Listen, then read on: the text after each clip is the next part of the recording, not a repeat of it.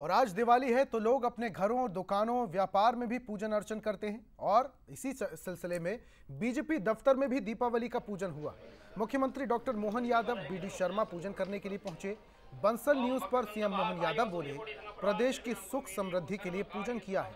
ये तस्वीर आपको दिखा रहे हैं बीजेपी दफ्तर की, जहाँ पर दीपावली की पूजा की जा रही है। प्रार्थना करना है। अतिवृष्टि अनावृष्टि न हो। नमो नमस्ते प्रभाय धाराय नमो नमस्ते अनंत कोटि क्षमा प्रार्थना तो बीजेपी दफ्तर की तस्वीर आपको दिखा रहे हैं। आज पूरा देश दीपावली मना रहा है। जगह जगह दीपावली की पूजा हो रही है। लोग अपने घरों, दुकानों, दफ्तर हर जगह पूजन कर रहे हैं। बीजेपी दफ्तर में भी दीपावली की पूजा हुई और ये दीपा, दीपावली की पूजा करने के लिए खुद प्रदेश के मुखिया, मुख्यमंत्री डॉक्टर मोहन यादव पहुँचे। बीजेपी प्रदेश अध्यक्ष बी डी शर्मा यहाँ दिखाई दे रहे हैं। बीजेपी के तमाम बड़े नेता और कार्यकर्ता भी इस दौरान मौजूद हैं। और इसी सिलसिले में मुख्यमंत्री डॉक्टर मोहन यादव ने बंसल न्यूज़ पर कहा, प्रदेश की सुख समृद्धि के लिए पूजन किया है। बीजेपी दफ्तर में दीपावली की हो रही पूजा की ये तस्वीर आपको दिखा रहे हैं, जहाँ विधि विधान के साथ पूजा की जा रही है।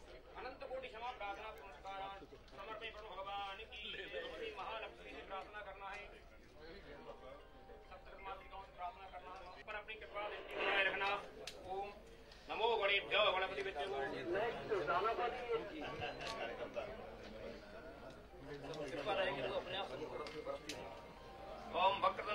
भक्तदंड सूर्यकोटि समप्रभा निर्विघ्नं कुरु मे देवो सर्वकार्येषु सर्वमङ्गलमाङ्गल्ये शिवे सर्वार्थसाधिके शरण्ये गौरी।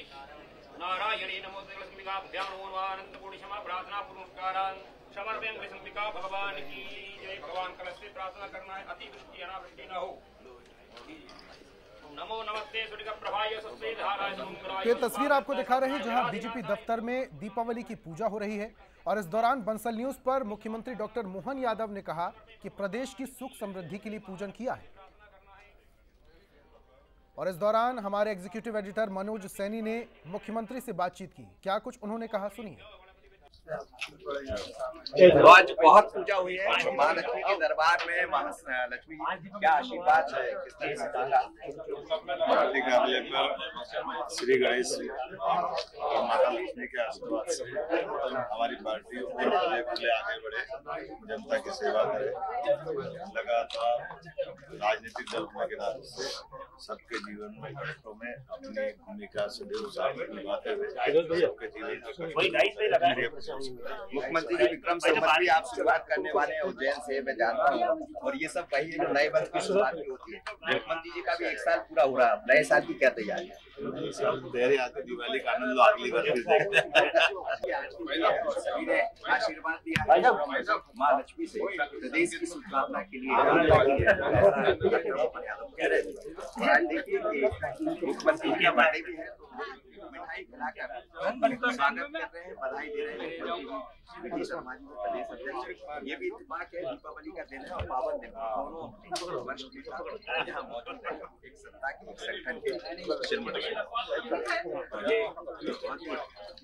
बहुत अलग तरह की तस्वीरें भी आपको दिखाई दे रही है लगातार शुभकामनाएँ दी है और मांग की है ने प्रार्थना की है किस तरह शुभकामना देंगे आज लोगों को और आपका जन्मदिन भी है आज महालक्ष्मी है और इस दिवाली के पावन पर्व पर सभी प्रदेशवासियों को बधाई शुभकामनाएँ सबके जीवन में।